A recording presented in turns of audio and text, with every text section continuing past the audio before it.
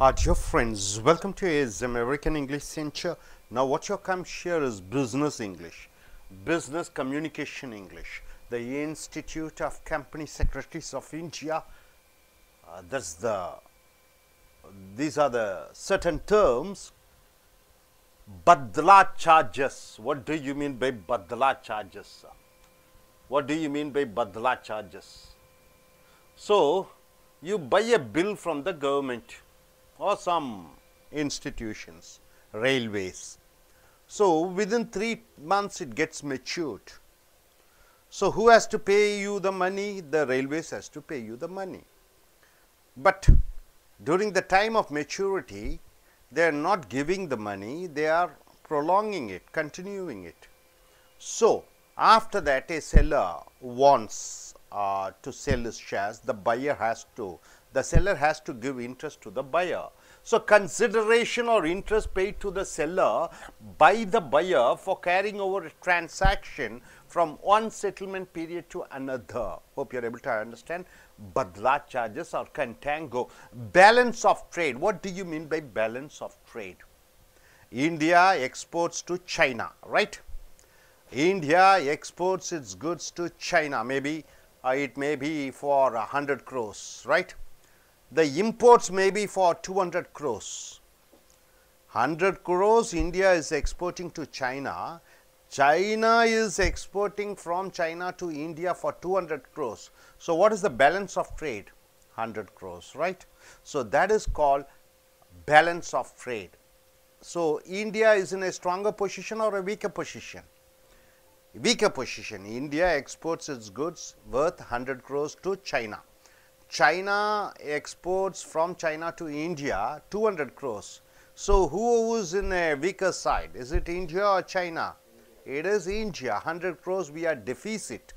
So, deficit balance of trade means uh, balance of trade means the difference between the country's exports and imports. The difference between a country's imports and exports affecting in turn the foreign exchange reserves, right, and balance of payments. So, when we import a lot of goods, then exports, what happened? We have to give foreign exchange either in dollar or in euro or in pound. So, balance of trade, it may be deficit balance of trade or surplus balance of trade. Balance sheet, what do you mean by balance sheet, sir? I am sure he is a businessman, he must be knowing. Any company, every year, it has to produce or submit its accounts uh, to stock exchange or to government. What is the assets and what is its liabilities? So, what is its assets and what is its liabilities? The financial statement, it is called the balance sheet. The financial statement generally prepared at the end of a period, usually the financial year showing the assets and liabilities and net worth of an organization, right sir. For example, Tata Consultancy, it has 1 lakh worth of what assets. So, it has 80 lakh, uh, 80 crore worth of uh, you know liabilities it has to pay. So, the net worth is only 20 uh, 20 is not it. So, this is the balance sheet the accounts financial account submitted to the government.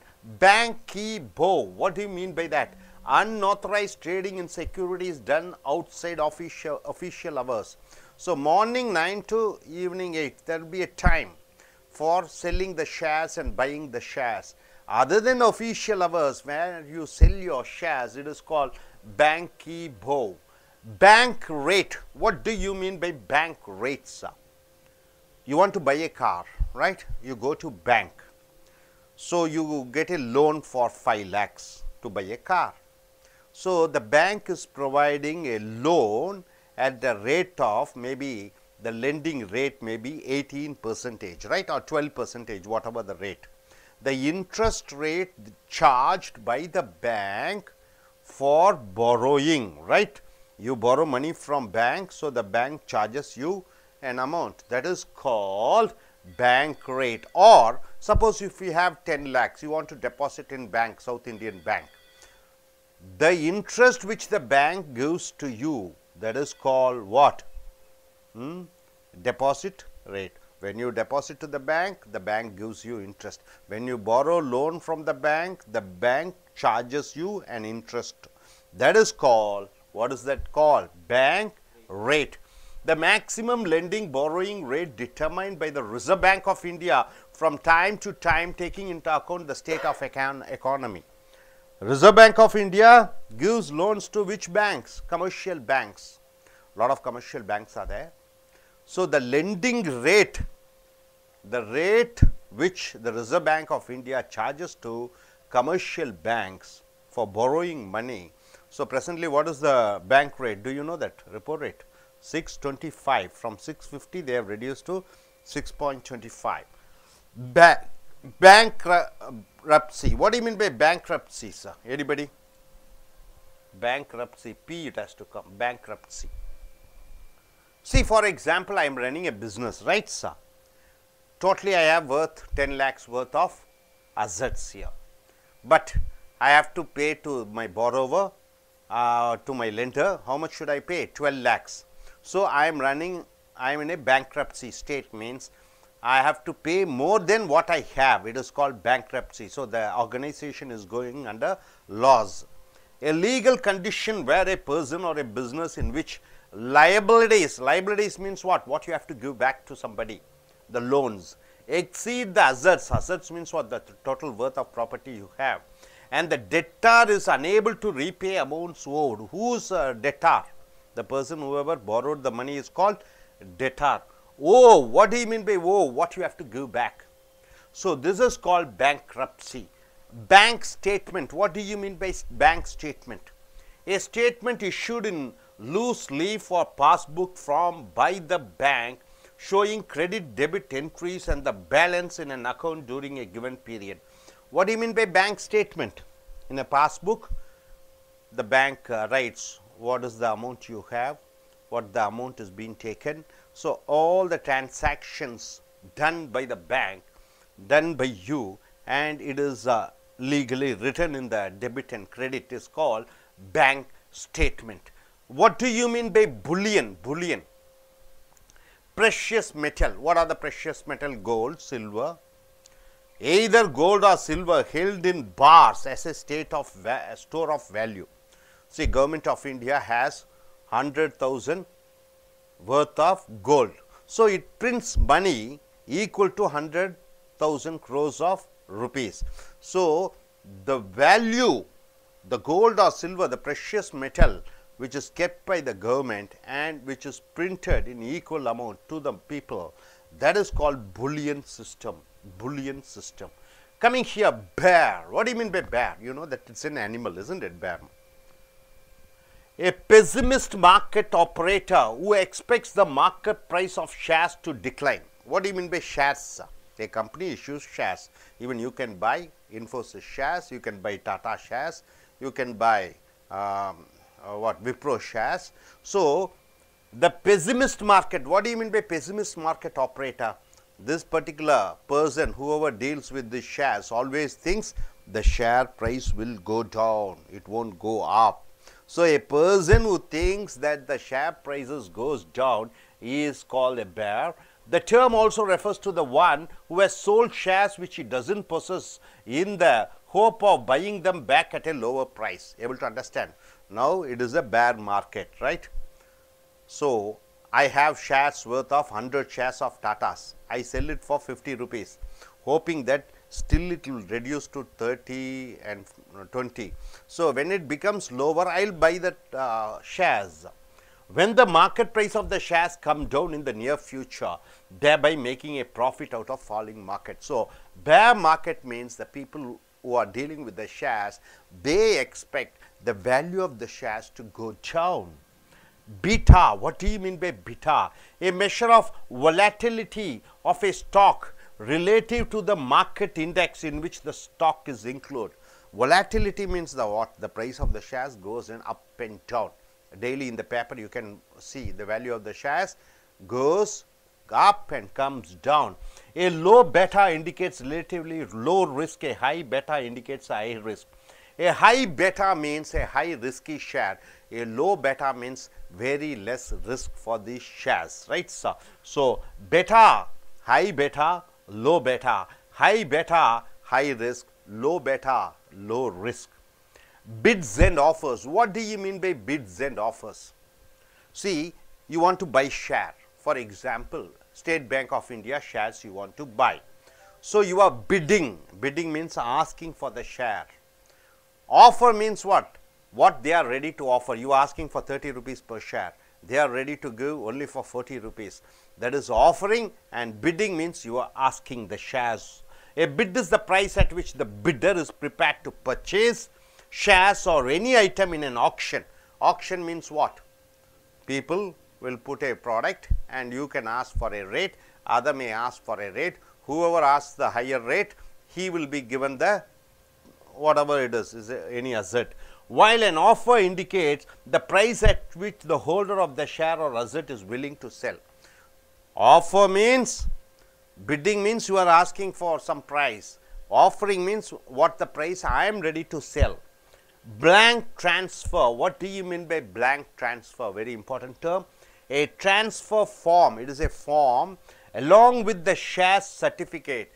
Transfer form along with the shares which has only been signed by the transferor. Transferor means what? I am selling it.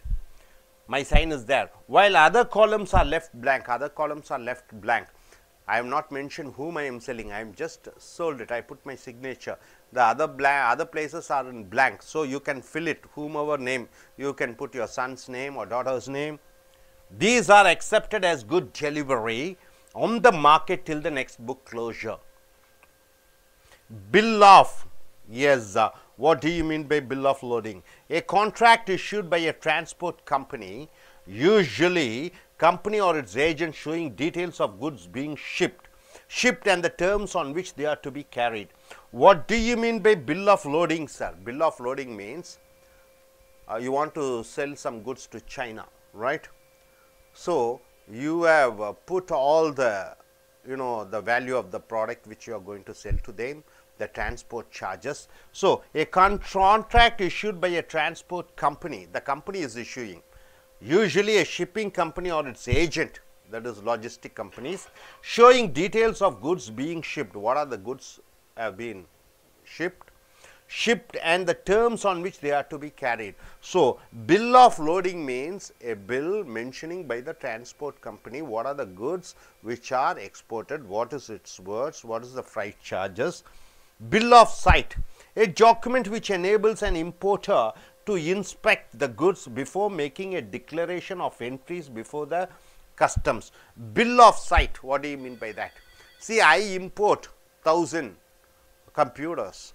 So, when the goods come, I inspect and see whether the goods are in proper order and I uh, declare an entry in front of the customers. It is called bill of sight. Hope you are able to understand. Are you clear? So, badla charges, balance of trade, balance sheet, banky bow, bank rate, bankruptcy, bank statement, bullion, bear, beta, bids and offers, blank transfer, bill of loading, bill of sight. நண்பர்களே ace American ஆங்கில இந்த வியாபார ஆங்கிலம் வியாபார தொடர்புடைய ஆங்கில சொற்றொடர்களை பார்க்கிறீர்கள். இங்கே பத்லா சார்ஜஸ் என்றால் என்ன? மிக மிக முக்கியம். உதாரணத்திற்கு இந்த நம்ம தமிழ்நாடு மின்சார வாரியம் இருக்கிறது. எண்பத்தி ஓரு ஆயிர எண்பத்தி ஓரு ஆயிரம் கோடி ரூபாய் நஷ்டத்தில் இயங்குகிறது. இந்த நஷ்டத்தை ஈடு செய்வதற்கு மக்களிடமிருந்து பணம் வாங்குகிறார்கள். யார் வாங்குகிறார்கள்? மின்சார வாரியம். அதற்கு ஒரு பில்லு கொடுக்குறாங்க. ஒரு ஷேர் மாதிரி. அதை வாங்கி அது மூன்று மாதத்திலே முதிர்ச்சி அடைந்து விடுகிறது. அதை வைத்துக்கொண்டு பணத்தை வட்டியுடன் வாங்கி கொள்ளலாம். சில நேரங்களில் அந்த மூன்று மாதம் முதிர்ச்சி அடைந்தவுடன் இன்னும் ஒரு மூன்று மாதமோ ஆறு மாதமோ அதை நீட்டிப்பு செய்வார்கள். அந்த நீட்டிப்பைத்தான் பத்லா என்று சொல்கிறோம். அந்த பத்லா சார்ஜஸில் அந்த வட்டி கொடுக்க வேண்டியதை அந்த மின்சார வாரியம் கொடுக்கிறது. அதுதான் பத்லா சார்ஜஸ் பேலன்ஸ் ஆஃப் ட்ரேட் என்றால் என்ன? ஒரு நாடு இறக்குமதி செய்கிறது ஏற்றுமதி செய்கிறது. ஒரு நாட்டினுடைய இறக்குமதி அதிகமாக ஏற்றுமதி கம்மியாக இருக்கிற பொழுது அந்த நாட்டிடம் இருக்கக்கூடிய அந்த வெளிநாட்டு பணம் வெளியே சென்று விடுகிறது. அதுதான் பேலன்ஸ் ஆஃப் ட்ரேட். ஒரு நாட்டிலே இறக்குமதி அதிகமாக இறக்குமதி குறைவாகவும் ஏற்றுமதி அதிகமாகவும் இருக்கிற பொழுது வெளிநாட்டு பணம் நிறையாக இருக்கிறது. அதுதான் பேலன்ஸ் ஆஃப் ட்ரேட் என்று சொல்வார்கள். அது குறை நிறை என்று ரெண்டு இருக்கிறது. பேலன்ஸ் ஷீட் என்றால் என்ன? ஒரு நிறுவனம் வருடந்தோறும் தன்னுடைய ஒட்டுமொத்த சொத்துக்கள் எவ்வளவு ஒட்டுமொத்த யாராருக்கு கடன் கொடுக்க வேண்டும் என்று அந்த வரவு செலவு திட்டத்தை அறிக்கையாக கொடுப்பது பேலன்ஸ் ஷீட் என்று சொல்கிறோம். பேங்கி போ என்றால் என்ன? அதாவது வ- இந்த பங்குகளை எல்லாம் வாங்குவது விற்பது என்பது ஒரு கால நேரத்திற்குள் நடைபெறுகிற நடைபெறக்கூடிய ஒரு அம்சம். அந்த நேர காலத்திற்கு பிறகு ஒன்பது மணிக்கு பிறகு என்று வைத்துக் கொள்ளுங்கள் பன்னிரெண்டு மணிக்கு இரவு அப்பொழுது செய்யக்கூடிய வியாபாரத்தை பேங்கி போ என்று சொல்கிறோம். பேங்க் ரேட் என்றால் என்ன என்று பார்க்கிற பொழுது மத்திய வங்கி ரிசர்வ் வங்கி அது தனக்கு கீழே இருக்கக்கூடிய மற்ற வங்கிகள் கமர்ஷியல் பேங்க்ஸ் என்று சொல்கிறோம். அந்த கமர்ஷியல் பேங்க்ஸ் தான் வாடிக்கையாளர்களுடன் மக்களுடன் நேரடியாக வரவு செலவுகளை வைத்து கொண்டிருக்கிறது. இந்த ரிசர்வ் பேங்க் ஆஃப் இந்தியா என்று சொல்லக்கூடிய மத்திய வங்கி இந்த மற்ற வங்கிகளுக்கு கொடுக்கக்கூடிய கடன் பணம் என்ன அளவு வட்டிக்கு கொடுக்கிறார்கள்? அதை பொறுத்து தான் இந்த கமர்ஷியல் வங்கிகள் மக்களிடம் வரியை வசூலிப்பார்கள். ஸோ அந்த ரேட்டு தான் பேங்க் ரேட் என்று சொல்கிறாங்க சொல்கிறோம். இந்த உதாரணத்திற்கு இந்தியன் பேங்க் ஒரு நூறு கோடி ரூபாய் ரிசர்வ் பேங்க் ஆஃப் இந்தியாவிலே வாங்குகிறது. அதுக்கு ரிசர்வ் பேங்க் ஆஃப் இந்தியா ஏழு சதவீத வட்டியை வசூலிக்கிறது. இந்த பேங்க் ஆஃப் இந்தியா என்ன செய்கிறது? மக்களிடம் ஏழு பன்னெண்டு ரூபா வட்டிக்கு கொடுக்கிறது. நான்கு ரூபா வட்டி யாருக்கு லாபம்? இந்த கமர்ஷியல் வங்கிகளுக்கு. பேங்க்ரப்சி என்றால் திவால். ஒரு நிறுவனம் நஷ்டத்தில் இயங்கிக் கொண்டிருக்கிறது என்று சொல்கிற பொழுது அதை பேங்க்ரப்சி என்று சொல்கிறோம். பேங்க் ஸ்டேட்மெண்ட் என்றால் என்ன? அனைவரும் ஒவ்வொரு வங்கியிலே கணக்கு வைத்திருக்கிறீர்கள். அந்த வரவு செலவு அந்த பாஸ்புக்கில் இருக்கக்கூடியது தான் பேங்க் ஸ்டேட்மெண்ட் புல்லியன் என்றால் என்ன என்று பார்க்கிற பொழுது தங்கமும் வெள்ளியும் ஒரு நாடு தங்கமும் வெள்ளியும் தன்னுடைய கஜாவன் கஜானாவிலே வைத்திருக்கிறது. அந்த எந்தளவு தங்கம் வெள்ளி இருக்கிறதோ அந்த அளவு காகித பணத்தை அச்சடித்து மக்களுக்கு விநியோகம் செய்கிறது. அதை புல்லியன் சிஸ்டம் என்று சொல்வார்கள். அடுத்ததாக பேர் பேர் என்றால் கரடி என்று சொல்வார்கள். ஆக சந்தையிலே பங்குச் சந்தையிலே பேர் மார்க்கெட் புல் மார்க்கெட் என்று ரெண்டு இருக்கிறது. கரடி மனப்பான்மை காலை மனப்பான்மை. காலை மனப்பான்மை என்று சொல்கிற பொழுது பொருளாதாரம் சிறந்து விளக்குகிறது பங்குகள் விலை ஏறிக்கொண்டே இருக்கிறது பங்குகள் வாங்கினால் அதிக லாபம் வரக்கூடியது.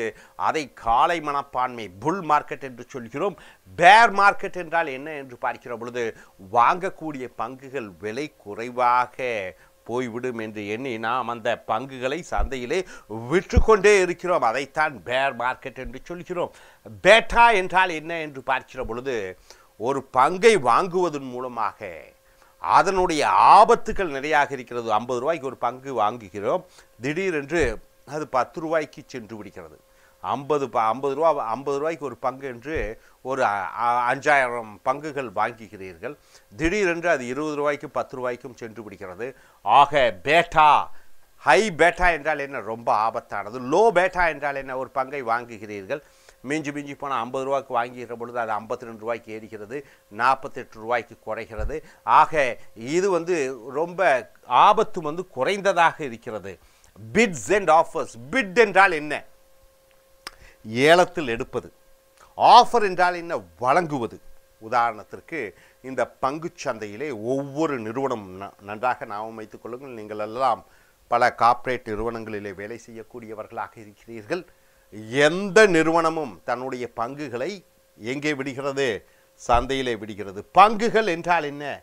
நீயும் அந்த நிறுவனத்தினுடைய முதலாளி ஆக்கி விடலாம். டாடா முதலாளியாகவும் பிர்லா முதலாளியாகவும் இன்ஃபோசிஸ் முதலாளியாகவும் நீயும் ஆகிவிடலாம் எப்படி? அதனுடைய பங்குகளை வாங்குகிற பொழுது.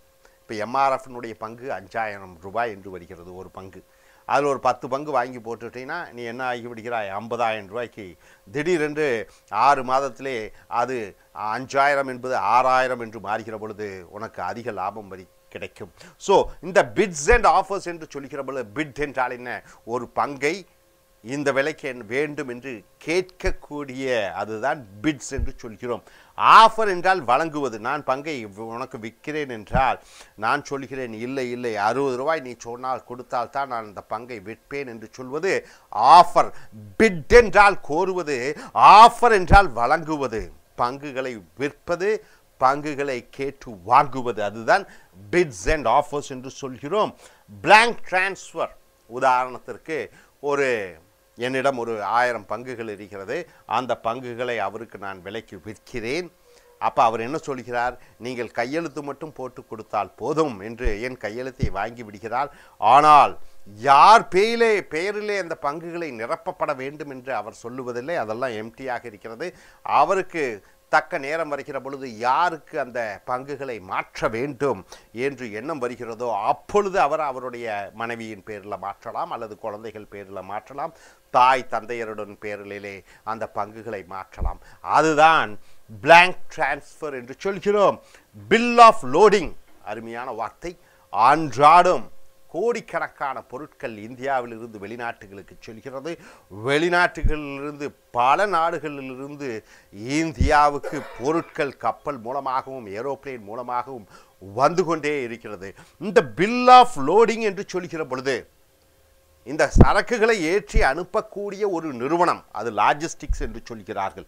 ஆக அந்த கப்பலிலே பொருட்களை அனுப்பக்கூடிய அந்த நிறுவனம் என்னென்ன பொருட்கள் அனுப்பப்படுகிறது. அந்த போக்குவரத்தினுடைய செலவினங்கள் எவ்வளவு என்று சொல்லக்கூடியது தான் பில் ஆஃப் லோடிங் என்று சொல்கிறோம். பில் ஆஃப் சைட் என்று சொல்கிற பொழுது நான் ஒரு நூறு கோடி ரூபாய்க்கு பொருட்களை வெளிநாட்டிலிருந்து வாங்குகிறேன். கப்பலிலே வந்து விடுகிறது. பொருட்கள் கண்டெய்னரிலிருந்து எடுக்கப்படுகிறது. எனக்கு வந்த பொருட்கள் என்னென்ன பொருட்கள் தரம் வாய்ந்ததா சரியாக இருக்கிறதா என்பதை சோதித்து பார்த்து அந்த கஸ்டம்ஸ் என்று சொல்லக்கூடிய கஸ்டம்ஸ் என்றால் என்ன தமிழிலே?